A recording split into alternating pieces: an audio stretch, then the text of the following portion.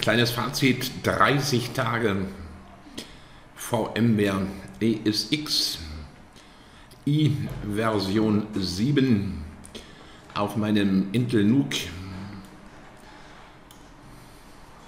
mit 64 GB Speicher und entsprechend ausgestatteten Platten, die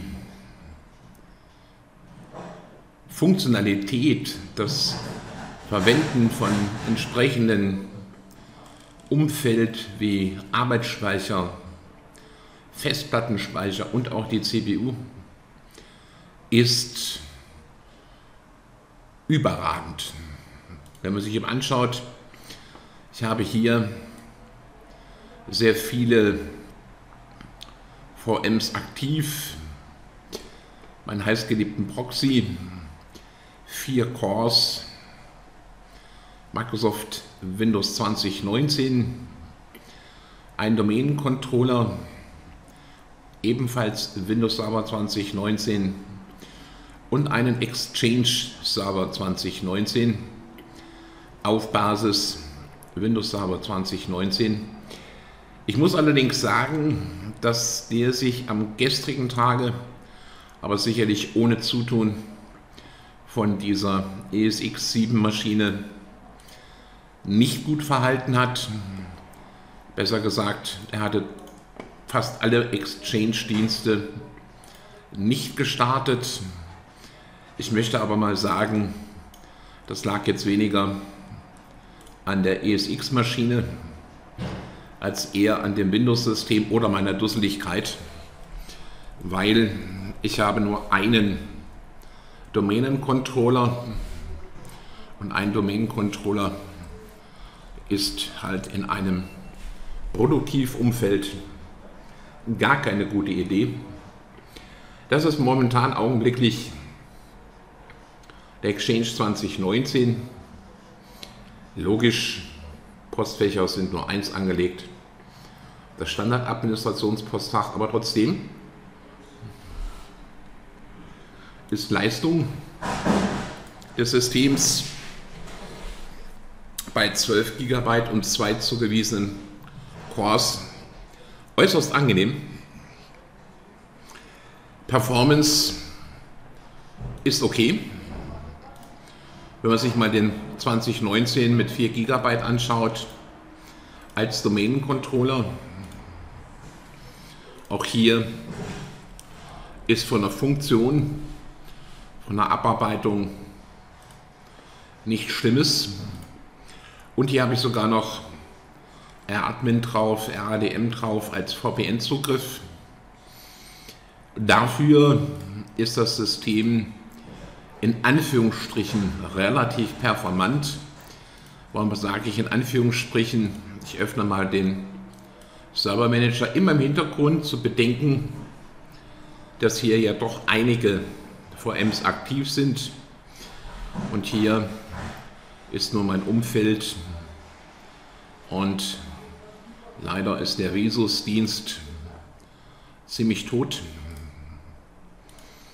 Eine Merkwürdigkeit, die ich auch nach der Kontrolle der entsprechenden Ereignisprotokolle noch nicht ergründen, ergründen konnte. Aber sicherlich gibt es da etwas, der Vesus läuft.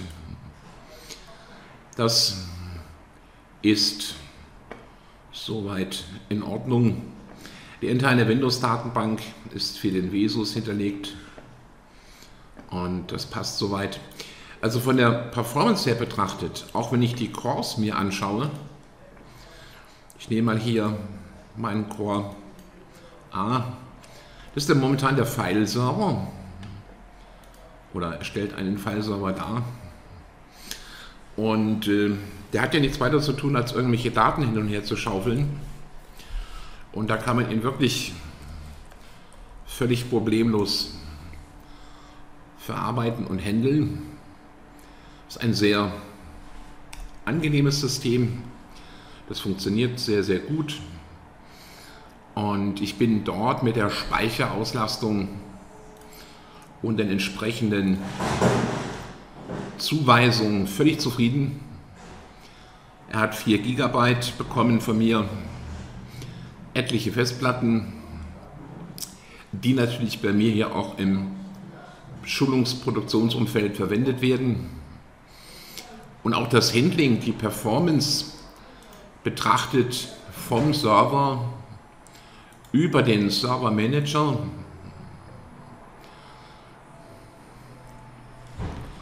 und dort für die Datei- und Speicherdienste muss ich sagen, hier sind meine ganzen Cores aufgeführt. Alle Cores arbeiten mit einem Leistungsindex, sodass wir auch hier schauen können, die sind völlig okay von der Auslastung her. Wir reden hier von einem Intel NUC-System, also einen kleinen, wirklich überschaubaren Server, der, wenn man ihn mal näher betrachtet, wirklich nichts Besonderes darstellt. Und das ist so ein Intel NUC. Also wirklich nichts, äh, was jetzt irgendwas Besonderes ist. Solch ein kleiner Barebone. Darauf läuft er. Seit 30 Tagen. Eigentlich länger, aber in der Hitze der Zeit habe ich ihn ab und zu mal ausgeschaltet. Auch die Last, die wir hier hätten, wenn wir mit mehr CPUs fahren oder mit mehr Cores und Servern fahren, ich übertreibe es jetzt mal und sage, komm, also wohlgemerkt, 1, 2, 3, 4, 5, 6, 7, 8, 9, 10, 11, 12, 13, 14 Computer hochfahren. Ich probiere das. Und überwache natürlich jetzt mal die Leistung.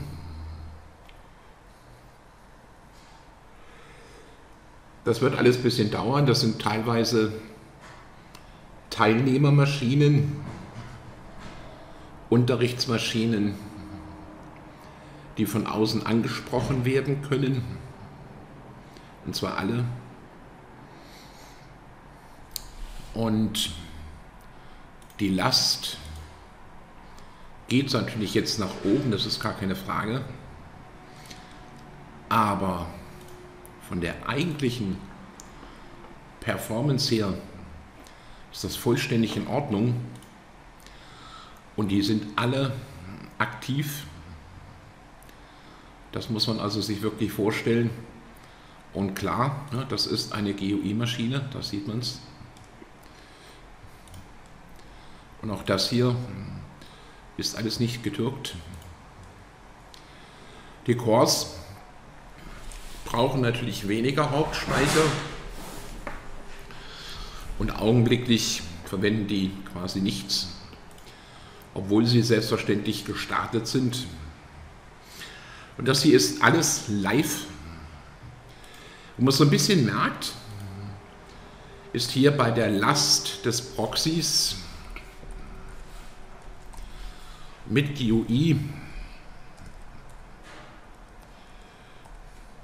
Und hier läuft ein Proxy mit entsprechenden Nachverfolgungstool. Und auch hier ist nicht sehr viel Platz, aber zum Proxy-Arbeiten ist hier alles in Ordnung.